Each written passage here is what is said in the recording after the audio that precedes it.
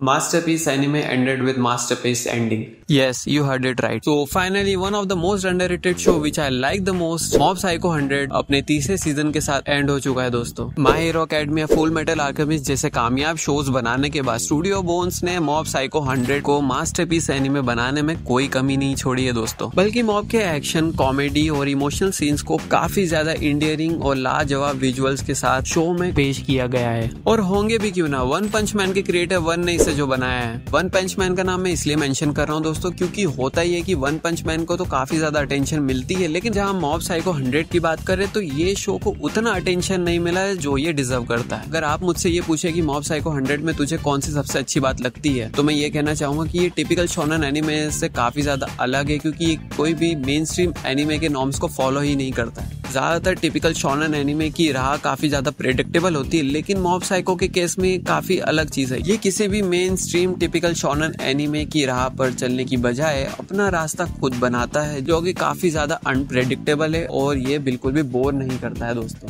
जब भी कोई एनिमे मार्केट में अपने कदम रखता है, आप और हम उस एनिमे से अपनी एक्सपेक्टेशंस बना लेते हैं, जो कि काफ़ी ज़्यादा मार्केट में हाइप क्रिएट करता है। लेकिन जब आपकी और हमारी एक्सपेक्टेशंस मीट नहीं करती है तो हम एक डिस डिसअपॉइंटमेंट वाली फीलिंग ज़रूर आती है। लेकिन मॉब के केस में देखा जाए तो ये काफ़ी ज़्यादा डिफरेंट है, क्योंकि मॉब साइको को देखते वक्त हमें वो सब कुछ देखने के लिए मिलता है, जो मेन स्ट्रीम एनिमे में देखते वक्त अधूरा सा लगता है। हाँ show over the top comedy ज़रूर करता है, लेकिन वो कहीं पर भी इरिटेट महसूस नहीं होती है।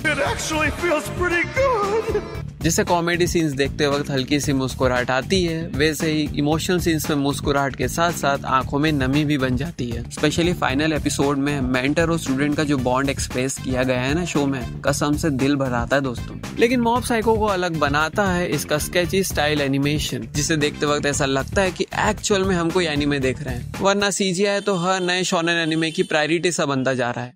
फ़र्स्ट सीज़न से लेके थर्ड सीज़न की बात करें दोस्तों तो मॉब की पर्सनैलिटी में काफ़ी ज़्यादा सुधार देखने को मिलता है। वहीं जहाँ मॉब की पर्सनैलिटी काफ़ी ज़्यादा शाय इंट्रोवर टाइप की होती है एक्स्ट्रा ऑर्डिनरी पावर होने के बावजूद भी मॉब केवल नॉर्मल लाइफ जीने की इच्छा रखता है। लेकिन जब जैसे जैसे शो में मॉब के कैरेक्टर में ग्रोथ होती है, वही बाकी के कैरेक्टर्स के अंदर भी ग्रोथ देखने के लिए मिलती है, जिससे मॉब का बाकी कैरेक्टर के साथ रिलेशन स्ट्रॉन्ग बनते जाता है। और वही चीज़ मॉब के कॉन्फिडेंस की कमी को पूरा करता है दोस्तों, जिसे शो में काफ़ी अच्छी तरीके से हाईलाइट भी किया गया है। जिन्होंने ये शो देखा है, वो अच्छी तरीके से जानते हैं कि मॉब के पास अलौकिक शक्तियाँ जो किसी भी विलन को कुछ ही पल में ढेर कर सकती है दोस्तों। जैसा कि शो में हमें बताया जाता है कि मॉब के टक्कर का तो कोई भी नहीं रहता है दोस्तों। लेकिन कुछ लोग ये सोच रहे होंगे कि अगर ऐसा कोई विलन है ही नहीं तो फिर ये शो तो काफ़ी ज़्यादा बोरिंग हो जाता होगा। लेकिन मॉब साइको हंड्रेड की यही तो स्पेशलिटी है। इन सब चीज़ों के बावजूद भी मॉब साइको हंड्रेड आपको बोर नहीं होने देता है दोस्तों। वैसे तो मैं एनिमे को रिकमेंड करता नहीं हूँ, लेकिन जो भी एनिमे देखते हैं एनिमे के फैंस है, उन्हें ये शो ज़रूर देखना चाहिए। हाँ शुरू में कुछ एपिसोड आपको वियर्ड लग सकते हैं, लेकिन जैसे जैसे आप शो देखते जाएँगे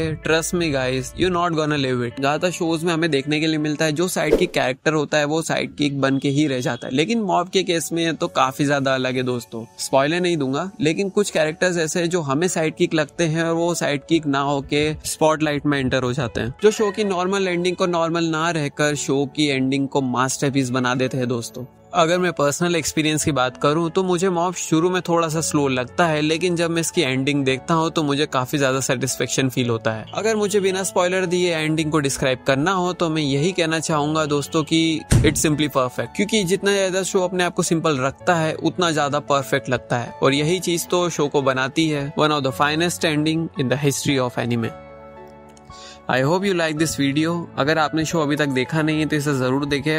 इट्स अ हम्बल रिक्वेस्ट और कमेंट में ज़रूर बताइएगा कि आपको शो कैसा लगा। तो फिर मिलते हैं किसी और दिन किसी और वीडियो के साथ। तब तक के लिए। Bye bye